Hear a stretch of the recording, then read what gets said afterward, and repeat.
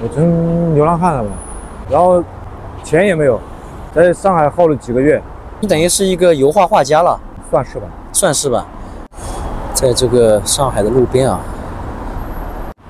大哥，大哥，看你一直坐在这里啊，还一个这么大推车，你是怎么回事啊？我应该是成流浪汉了。那你是怎么会在上海的路边流浪呢？嗯，说来话长啊，呃我是画画的嘛，然后就现在就是跟跟画廊闹掰了，然后钱也没有，在上海耗了几个月哦，你是从外地到上海来的，啊。就是说这个画廊大概是叫你过来的，到上海来。对对，本来说是让我呃准备一些作品，然后后面就签约，直接就是我我给他们画就行了。就是他签约你，你把画提供给他们。对啊，你是什么画？油画油画油画都是。油画，你等于是一个油画画家了。那后来呢？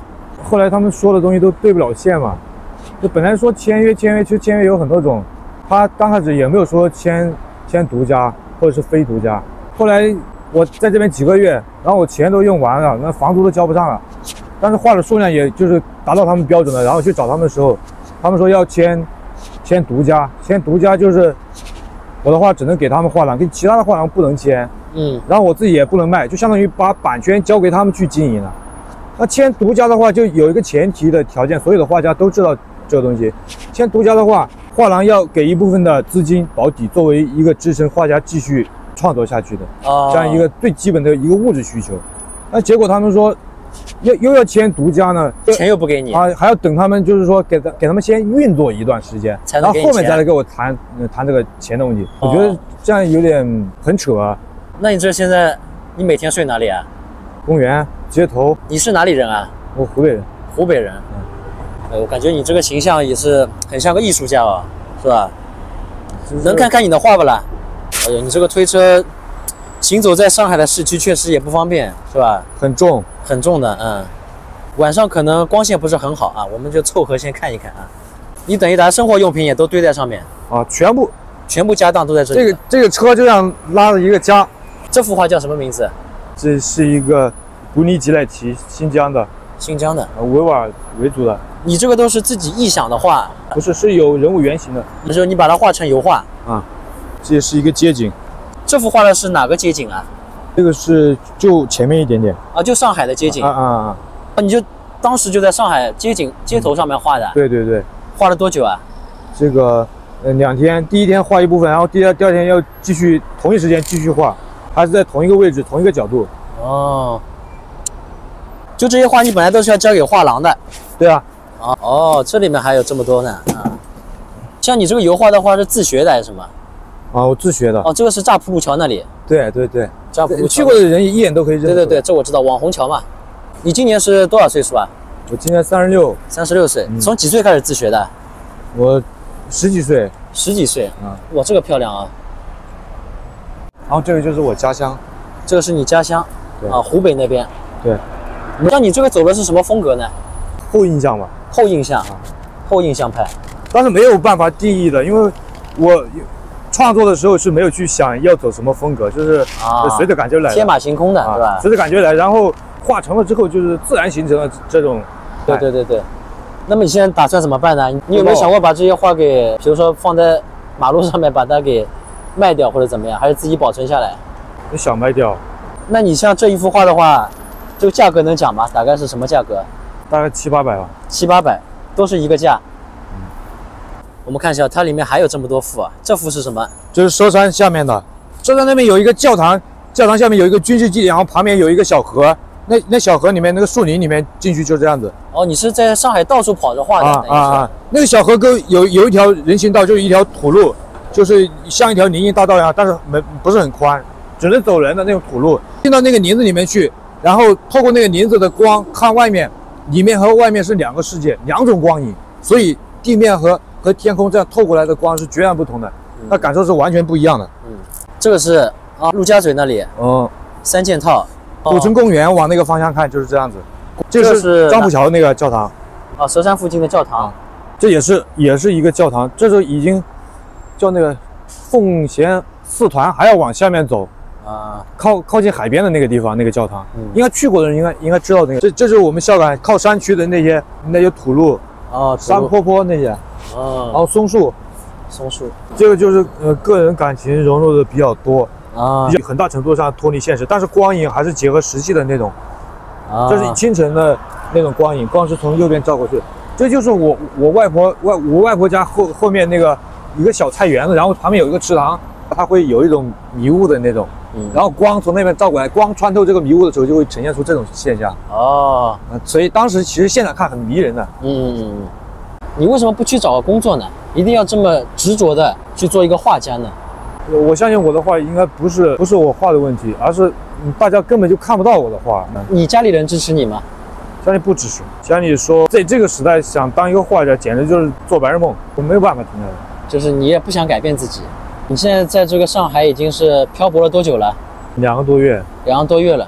嗯，那你这些画现在也没人买，是吧？等于被画廊骗了之后，摆在马路上也没人买。对啊，那你现在怎么办呢？你工作也没有，大概我我一直没有，我今天是第九个年头。就一直在完成自己的梦想，做画家，是吧？对。那你这个生活经济来源怎么办呢？就是偶尔会有朋友买一下，因为没有没有好的销售渠道嘛，没有自自媒体自己也不会做，对啊，抖音那些又不会弄，弄不好。但是有很多人可能会想不通啊，你为什么不去找个工作呢？一定要这么执着的去做一个画家呢？没有，你不能总靠朋友去买你的画呀。不知道，我相信我的画应该不是不是我画的问题，而是嗯大家根本就看不到我的画，没有没有一个渠道能够就是通过哪种渠道让更多的人看到我的画。如果说很多人大家都见到了我的画，但是得不到大家的认可，这个就是可能是说我的作品有问题。它嗯关键是我根本就没有机会去展示这些东西，所以这条路走得很艰难。很艰难。嗯，你家里人支持你吗？家里不支持。不支持。家里不支持，家里说我是那种，就是那种做白日梦的那种做白日梦，啊，就是觉得在这个时代想当一个画家，简直就是做白日梦，不现实。这个确实很多人会这样认为的。我认为时代变了嘛，很多人可能会去做设计师啊，对吧？嗯。先把自己养活了，然后可能再但是我觉得我我打心底里不是我自己高傲，不是我清高，我觉得缺，毕竟还有那么多画廊在卖卖油画，卖那么多的所谓的艺术品原创。要不就他们是已经出名了呀，他们就卖个名声啊，呃，我的意思是说，就是说这个东西它还是有一定需求量，那肯定的，那那我的这个没有需求量，心里很矛盾。就是跟我家里人说的也不认同，就是这个原因，不是说这个这个世界上的人不需要艺术品，不需要油画，不是这样的，真相不是这样的，嗯，也不是不需要我的，只是你还这个世界上没出名。也不一定，我我不要就是怎么出名，我只是希望有更多的人看到，我认为缺我这种风格，缺你这种风格的。就前面你讲的这个后什么后印象吧，大家是这样后印象派的后印象派大家认为我这个是后印象的，它它是接近于写实，但是。呃，表达的方式、形式又不是那种传统的写实，啊，那毕竟你也三十六岁了，是吧？估计还没成家了，那你也得为未来考虑一下嘛。我考虑啊，我后面还有，我还有很多想法，嗯，还还有还有很多改变，就是我不会仅限于此，就是目前这个样子不是这样子的，啊，不会一直会改变，一直会改变，一直会改变。那你之后的路呢？我会有不断的新的突破，不不单单是技法和风格，就是一些表现形式可能还会有一些改变。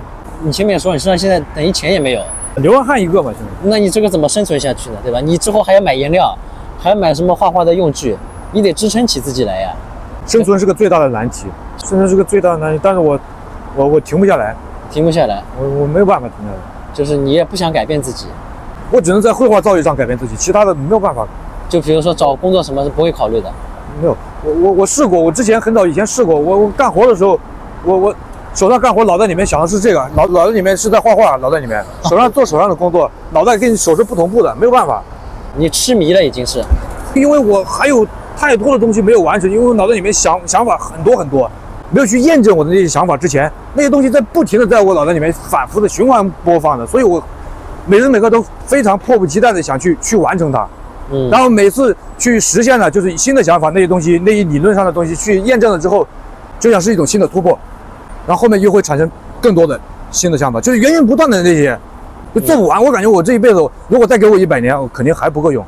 我甚至都想晚上不用不用睡觉，有有时候我经常晚上梦里面还在画，然后睡到半夜两三点钟的时候，就是因为太激动了，然后一下从梦里面醒了，然后开灯直接起来画，我画画的觉得差不多了，然后再躺下睡，这样子经常这样子。嗯，莫奈结婚的时候还没有下锅的米，还去找雷诺娃借钱。莫奈也是到了三十四岁才生活有的好的改变。他们是学院派的不不认可的，都是不认可的。他去参展的时候，别人笑话他说这是这种是什么画？这是凭纯粹是凭自己的印象画出来的吧？但是其实跟我是差不多的，所以我要做下去。你要做下去。嗯，就是其实有时候想通了，没有什么遗憾的。我也没有远远没有还没有到遗憾的那个年纪，嗯，还早得很。因为搞艺术这个是没有一个确切的答案，说什么时候合适，什么时候成功才是合适的。晚成和早成，你看梵高三十七岁就挂了，那就如果按照他的那个，我刚好明年就是画画满了十年，我明年也是三十七岁，我明年也也是走向人生的终点，但是不可能，我觉得绝对不会，就是觉得就仅此而已。我觉得还有很多很多没有没有没有没有干完的，然后就是苦逼到很晚的晚成的也有很多，像印象派时期的，呃，塞尚、莫奈、雷诺阿，有巴齐耶，有希斯莱，他们都是一八三九年、一八四零年那个时候那个时代的人出生的，他们那一批的画家基本上都很苦逼。然后，啊，塞尚，塞尚可能就是在他们里面待的不是很久。嗯那那帮人当时年轻的时候，跟我们一样，跟跟我不是说我不能代表别人，但是其实跟我是差不多的。他们是学院派的不不认可的，都是不认可的，很野的那种，很野。莫奈为什么他会出名？他他为什么叫做印象派？就是因为他去参展的时候，别人笑话他说这是这种是什么画？这是凭纯粹是凭自己的印象画出来的吧？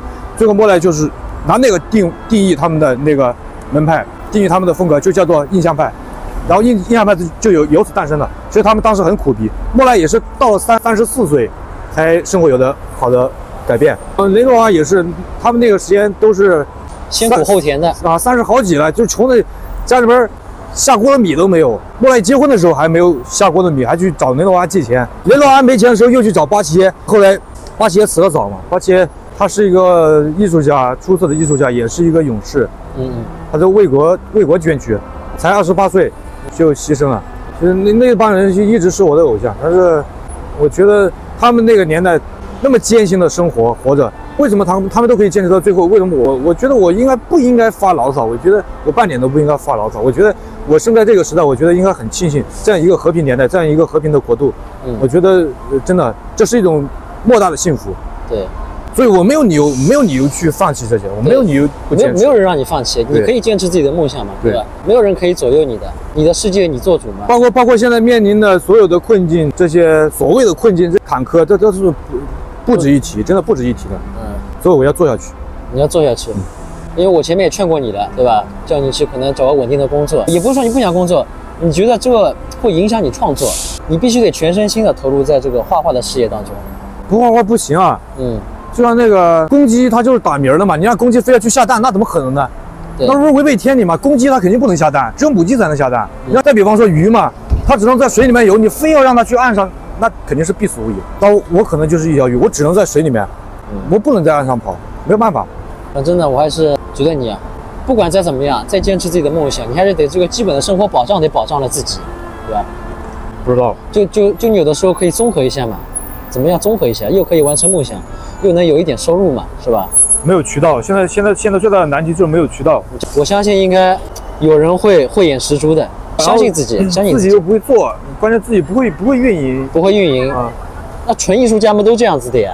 我还是这个祝愿你，好吧？嗯，谢谢谢坚。坚持自己，坚持自己。我很看好你的，我觉得你帮一般人不一样，我相信你会有成功的那一天的。